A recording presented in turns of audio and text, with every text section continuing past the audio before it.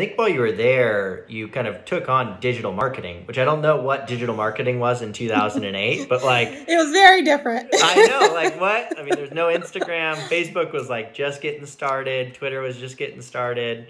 I actually don't even know when Twitter got founded. It might have got founded like 2009. So like Twitter had just like, started. So yeah, it, yeah. it, was actually prior to 2008. But yeah, Twitter okay. was, was very new.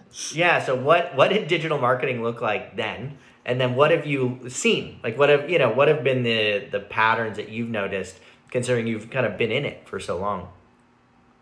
Yeah, I mean, I think you hit it on the nail. Um, it was a lot simpler. Uh, so so I would say uh, heavy focus on like email marketing, yep. on you know traditional banner ads. Oh, uh, good old banner you, ads. If, yeah, old banner ads. If you can remember those, uh, that's hilarious. It was also if you think about uh, just search it was really all about keywords yeah, uh, yeah so that yeah. was the extent of they were simpler times was. back then much simpler times. And we were just starting to think about you know like what the impact of this social media thing you know would be on consumer behavior. So twitter had just started uh, not that long. I think facebook had just kind of kicked off and then youtube. Uh, yeah, so we were also starting to think about how video uh, really played into the whole equation. So uh, much much simpler for sure. I think the iphone was probably like a year old uh, so that also gives you perspective as you think now on how much access consumers have just through their iPhone. Um, it was a lot different. And I think, you know, now as you think about the evolution of, of what that looks like today, you know, it's a lot more complex. Um, the consumer journey is uh, offline and online is, is so uh, blended uh, mm-hmm. that, you know, it really is truly a omni channel solution that you have to figure out and it's a lot more it's really about content being where she is how she wants to consume it and tailored to her mindset in every way shape and form right so uh, mm-hmm. and and not to mention that as a result of all of these smartphones um, there is so much more access to other brands, to distractions, yeah. um, to so many other things that it's forced you to also think about much more snackable uh, content that can be consumed really quickly. You know, no one's looking at the long form videos. Um, so, you know, a lot has shifted. I mean, I would I would venture to say that it's almost night and day from from yeah. where it was in 2008 for sure and I think the the thing you hit on there that's really interesting as well is this idea of distractions and other brands, right? Because now, mm-hmm. you know, if I wanted to create a brand, I can go to a private label manufacturer and come up with a logo and create a Shopify website and have a product up in, you know, three to six months. And that's, you know, obviously creates, I think one of the things I've thought a lot about that I'd be curious to get your opinion on is like, if you were to think about, you know, brand building probably up until you know kind of during the time that you were there and then up until call it the last 10 to 15 years you know if i walked into a store and i had mm-hmm. a brand that was there and i had revlon here and i had some other brand i'd never heard of it was very hard for me to get information on that product right like right. other than if i talked to somebody maybe they could give me a little information but there really wasn't the the ability to discover new brands is pretty pretty hard right and so in a lot of ways um, you know the brand was like a signal of the quality, right? Like I know mm-hmm. if I buy this product from Sally Hansen, it's going to be of at least this quality. And so like I can trust this brand and trust multiple products in this brand, whether it's mm-hmm. a nail brand product or this or that or the other thing.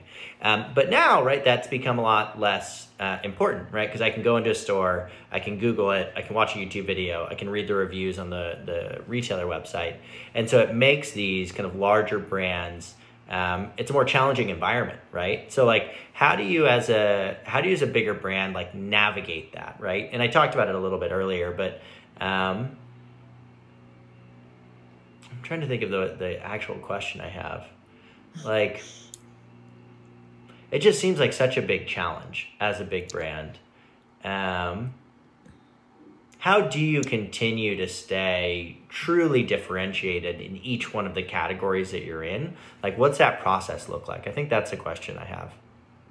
Yeah, I mean, I think it's the age old uh, question that I think we're all trying to uh, figure out. And I think even where we started this conversation, thinking about mm-hmm. COVID, I think, you know, even um, the the amount of time that people spend digitally has only increased significantly, yep, yep, right? Yep. So um, so yeah, it's definitely a challenge. I I think that uh, in many ways the big brands have to uh, figure out how to play that that same game, uh, making sure that you're investing in ratings and reviews, um, mm-hmm. that you're present uh, where those other brands are present and when they're considering uh, and comparing products, and that you are giving them a compelling reason uh, to buy with you know, uh, signals of of the same quality that you've always stood for. Um, I think you know one of the things that we have working in our advantage is a couple things, um, but you know, one I think is uh, just the amount of support and and delivering foot traffic. Um, yep, you know, yep. I think that's and and driving awareness. I think there is some benefit that bigger brands have relative to the the smaller ones that you just have to capitalize on it in the right way to make it mm-hmm. um, work for the you. The only way um, they can get discovered is digitally, right? So, like in a lot correct. of ways, that's a big uh, inhibitor, right? Like physical presence does matter um, in a meaningful way. It, it does, and and you have to figure out the fact that they we're still very accessible as you think about our distribution channels. Um, mm-hmm. So it's easy, and you can't underscore the importance of that uh, experience that that experience that you have real time uh, with products. Um, uh, and, and, so I think it's how do you really tap into that um, in a way that gives you a leg up on some of these other brands that aren't as easily accessible but still offer the same things that they do as well when it comes to customization personalization you know uh, uh, ratings and reviews, um, great content above the fold. You know, I think it's that and. Um, yeah, so yeah. it really has raised the bar on how we have to connect in with consumers. But at the end of the day, what um, you know really driving them in store is where we have the advantage. Um, and and once we do, making sure that the experience pays out um, and and that you close the sale. And so it's it's not an easy um, equation at all, but it definitely gives us um, something to really tap into as an advantage uh, that we really have to capitalize on.